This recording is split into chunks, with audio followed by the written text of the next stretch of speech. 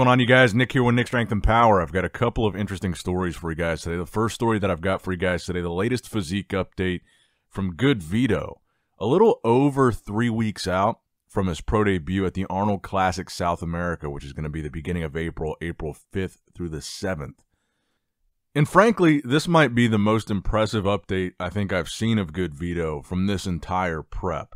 So he looks obviously really lean here, a lot of vascularity really all over legs, abs, chest, arms, like everything. So I feel like this is one of the more anticipated pro debut that we've had in a very long time because a quick refresher, he was trying to compete in some of the shows towards the end of the year last year. He was trying to qualify for the 2023 Mr. Olympia, but he had issues with his visa. Um, I believe trying to travel to Italy and I guess it was Spain. So he wasn't able to do those shows because of visa issues. And then he had a baby towards the end of last year. And then towards the end of last year, early 2024, um, he had the abdominal surgery on his umbilical hernia. And it seems like at this point, we've been talking about Good Vito for three, four years now, even before he earned his pro card. And there's certainly no doubt that the guy is talented. And so with his pro debut, I think a lot of people not only, you know, probably want to see him win, but I think a lot of people just want to see him stand next to some of these guys um, because we know Rafael Brandao is doing the Arnold South America. We know that Carlos Thomas Jr., another newer pro that had recently made his pro debut, is doing the show. And I'm sure we're going to get the official lineup here in maybe two weeks. We'll know everybody that's doing it. But even just to see good Vito next to Rafael, I think will be very telling of how good he really is when he stood next to a pro.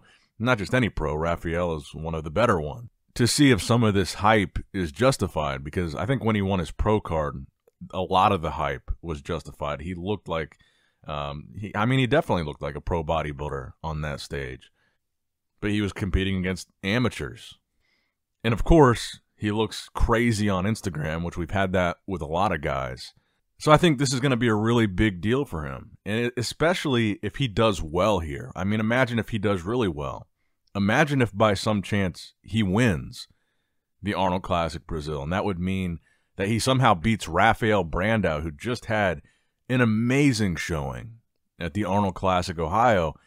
That would be massive momentum for good Vito going into the Olympia. Then he'd be qualified after winning that South America show, which is another interesting thing uh, because he lives in Brazil right now, which I believe is why he's doing that show. So I'm hoping if he does qualify for the Olympia, he doesn't have any travel issues getting to the U.S. to actually do the Olympia. So I thought it was odd that he had travel issues getting to, you know, Italy, Spain, and we still don't even really know the exact reason behind that. Is it because he's from Russia? Is it because he has legal issues? It was never really made clear why. But this is definitely one I'm really excited for. I mean, looking at his front double, which I think is arguably his best pose, it really shows off his shape well. Um, the amount of size that he's got and the taper that he's got in that pose, you can see his midsection very, very clearly in this pose. I think a lot of people are wondering if the surgery is going to impact it um, because of the similar thing that happened with Phil Heath. But he looks fantastic in this pose. I think a lot of people now are really excited to see what he brings at his pro debut at the Arnold South America. But next up in the news, let's look a little bit more into the near future here with the Arnold Classic UK and some recent updates that we got from Akim Williams. Now, I think this is an interesting thing to think about here with Akim because of how well he ended up doing at the finals of the Arnold Classic US and there's some real factors to consider here going into this show that maybe Akim is one of the guys that we should be talking about as a potential top three guy at the Arnold Classic UK because right now we still don't have confirmation about Hadi Choopan. I'm assuming he's going to be able to get there, but we still don't have confirmation that he is, so he's still pending. Samson Dauda, we know, is coming off of an illness, and he's also left his coach. So I think that makes it a little bit less certain that Samson is going to come in here and, and be dominant. You've got John De La Rosa, you've got Akim, James Hollingshead, Antoine Vaillant, and Mo Shaban.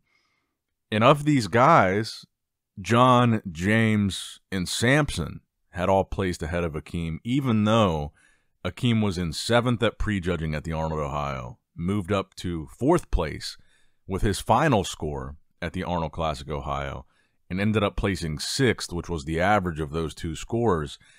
But at finals, he was in the call out with Samson, Hadi, and Rafael. Rafael's not even here. I think it's premature to say that Hadi's not going to be there. But if he's not, and Akim looks as good as he did at the finals of the Arnold, Ohio, there's a possibility here we could have a battle between Samson and Akim for the one and two spots. I think that's a very realistic thing if Samson looks as good as he looked at the finals for the Arnold.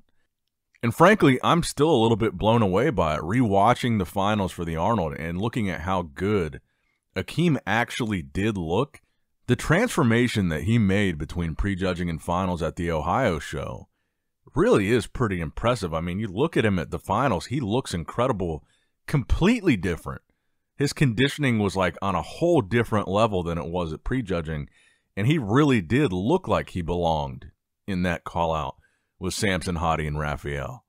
And I even saw yesterday more on the Samson thing. I mean, Samson did like a thousand stories yesterday answering questions. We don't have to talk too much about it because we've talked a lot about Samson Dauda's stories in the last couple of videos. But he again addressed the Milos thing, address the fact that his wife is going to be um, coaching him through peak week for the Arnold UK.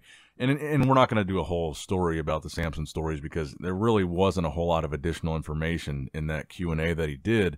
Uh, but someone did ask him why he didn't speak on the Milos thing or why he didn't publicly thank Milos.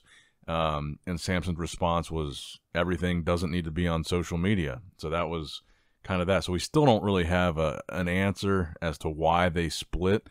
It does still seem a little bit odd to me.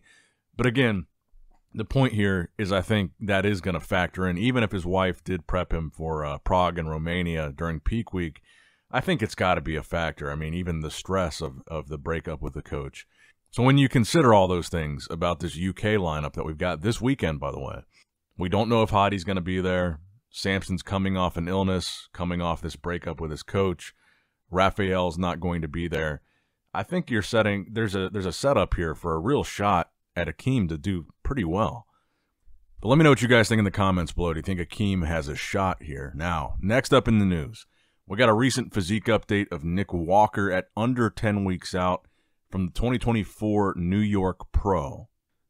Now, Nick Walker obviously is already a one time New York Pro champion. He's going to be going up against Tonio Burton, who was last year's New York Pro champion.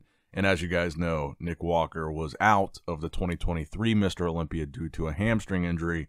So this is kind of his big comeback show. And I think his conditioning in this picture for 10 weeks out is pretty incredible. I mean, Nick is in incredible shape in this update. You can see striated glutes, he's lean, he's vascular, and again, 10 weeks is still almost three months out. I think this is going to be a hell of a comeback show for Nick Walker, and I think he's really going to make a statement and remind people why he belongs on the up on that Olympia stage. And I think he's going to get a lot of people excited for 2024 when we get to see him on the Olympia stage again, of course, barring another injury. But I think Nick looks really, really impressive here. Now, the final story that I've got for you guys today, we did get an update from Rafael Brandao. Like we talked about earlier with Good Vito, Rafael is also doing the Arnold Classic South America. So he's also a little bit over three weeks out here. And I think Rafael does have the advantage of the fact that he just competed in the Arnold, Ohio, so we know he's going to be in shape because he was just in contest condition a month before the uh, the Arnold Classic South America. So I think that's a little bit of an advantage for him having the Ohio as I guess you could say a bit of a warm up, but placing third at the Arnold Ohio isn't really a warm up show. That's a really impressive placing in a really impressive lineup. And I think he probably is the favorite going into the Arnold South America to win that show. I mean, he is Brazil's uh, kind of hometown boy and he's got a little bit of home field advantage there. So I feel like he's probably the favorite to win. Now, I don't know for sure if uh, Horse MD is doing the Arnold Classic South America. I haven't seen him talk about it, so maybe not. But like I keep saying, we've got a lot of stuff to look forward to between the New York Pro, the Detroit Pro, the Arnold Classic UK this weekend, the Arnold South America, and then all the shows in the late spring and early summer. And before you know it, we'll be back to the Olympia. So make sure you guys subscribe for all the latest bodybuilding news. Like the video, comment, all that good stuff. And as always, I love you guys. Appreciate you guys. Nick Strength and Power signing out. All right, guys, don't forget to click that like button and subscribe to this channel if you enjoy the content. Also, check out my Instagram at Nick Strength Power my Facebook page, which is simply Nick Strength and Power, my secondary YouTube channel, Nick Strength and Vlogs, for vlogs and bonus content that you will not see on this channel, and consider subscribing to my third YouTube channel, Nick Strength and Pokemon, which is all things Pokemon and trading card games, completely unrelated to this channel. So if you're into that, give that one a look. And all links to merchandise and social media will be in the description box below. If you guys want a Nick Strength and Power t shirt, that will be in the Shopify link below. Have a great day.